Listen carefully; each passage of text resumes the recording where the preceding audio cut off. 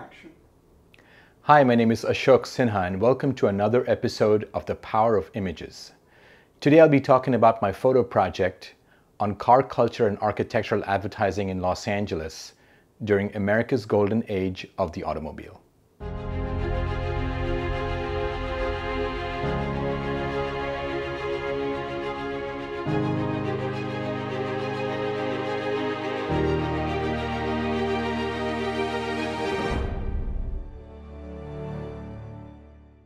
Los Angeles is the original car city, and Los Angeles and car culture go hand in hand.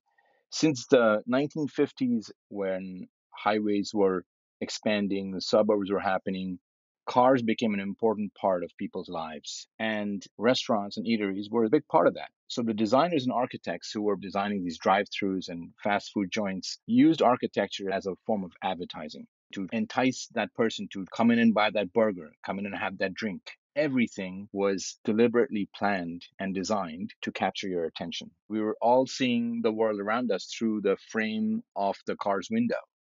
When you see these structures at night with the lights on, you see the interiors, they really shine and it shows you exactly what the designers were thinking.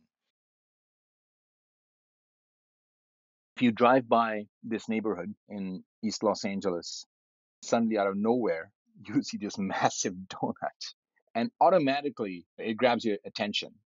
It was advertising the very product that it was selling. It was built between uh, 1967 68 and you can still pick up a donut and a cup of coffee driving through the entrance. It's just interesting and bizarre at the same time. This is actually the oldest surviving McDonald's. It dates back to 1953, located in the city of Downey within Los Angeles. Many of the others were demolished by the McDonald's Corporation. When McDonald's purchased this property, they had demolition plans, but the National Trust for Historic Preservation stepped in and listed it as an endangered property in 1994. A few things to note here. You'll notice the mascot, his name was Speedy. That was the original mascot for McDonald's, and it's still here in the signage. The other thing is these metal arches supporting the restaurant roof structure is an original element and the use of this fishbowl concept looking into the restaurant of all its operations and use of glass is very much uh, true to the original design of this restaurant. Chip's Diner was built in 1957 in Los Angeles. It's a beautiful, elegant diner. There are so many design subtleties that were made primarily for the motorist. The lettering, for example, the writing chips, it's actually in a street corner. So you'd have these letters that are slightly angled towards the direction of traffic. So when you're driving by, you could read the signage. There's that use of glass again and the inviting warm lighting. In the interiors, too, there's meticulous stonework. There's semicircular booths, which are upholstered in a beautiful fashion. And this was designed by this architect named Harry Harrison, who's a Taliesin trained architect. You can see the teachings of Frank Lloyd Wright here. And it is such a beautiful structure. It's so elegant and inviting. George's 50s Diner was built in 1950. It was a popular spot on a busy intersection. It was a beacon. So you could see it if you were stuck at the traffic light or you were going through the intersection. There were important features that relates to that concept of being a beacon. For example, this tall integrated stucco billboard that you could see from far away. There was this elegant neon script and more importantly, these curving windows that face the traffic and again invites the driver to come inside. And it still is a popular spot.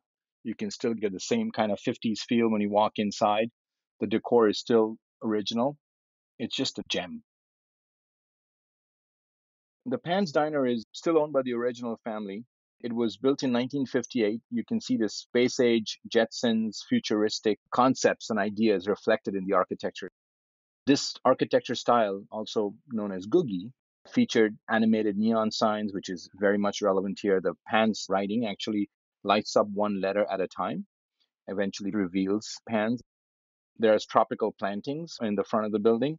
There are terrazzo floors. There's plate glass windows. There are stone walls.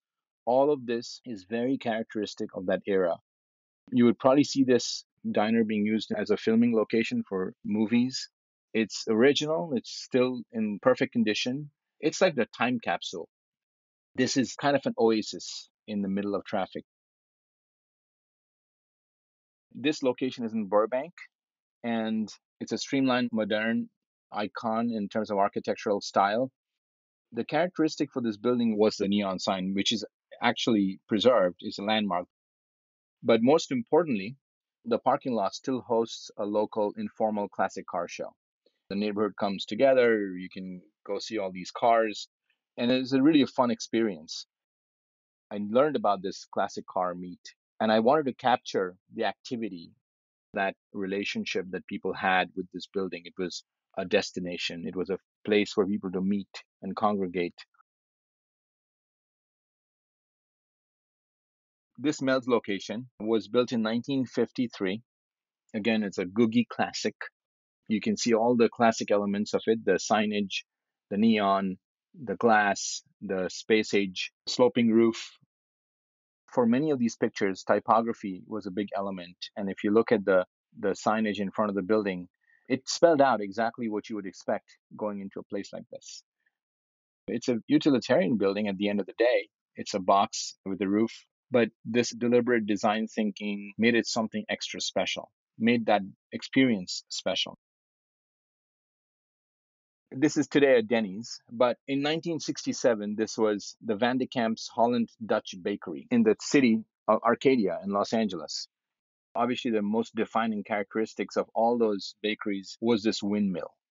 This windmill had stopped working, and so the town decided that they had to restore it, and it was lit in its original glory.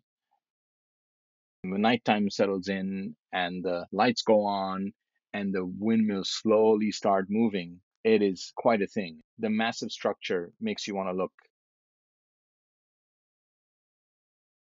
While the Dutch bakery had its windmill, a little piece of Holland in Los Angeles, you have the Wiener Schnitzel, which was a little bit of Germany in Los Angeles. It had this very interesting A frame, the yellow mustardy color.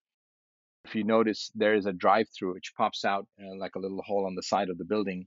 It was a characteristic of all these hot dog stands it was a different way of advertising the kind of food they were selling.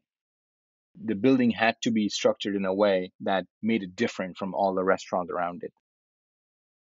Even though these handful of buildings have been saved, many are still not in the preservation list. So there's always the pressure of real estate development in a city like Los Angeles. So we might be looking at these buildings for the last time for some of them. And so it's important that these continue to be businesses and it's important that people continue to visit them and experience them so that they can be preserved.